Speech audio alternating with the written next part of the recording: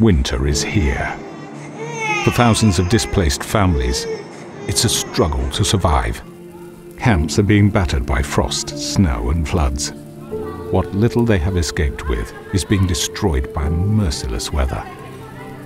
We're supporting some of the most vulnerable families this winter, providing warm clothes, shelter, blankets, heating oil, and food.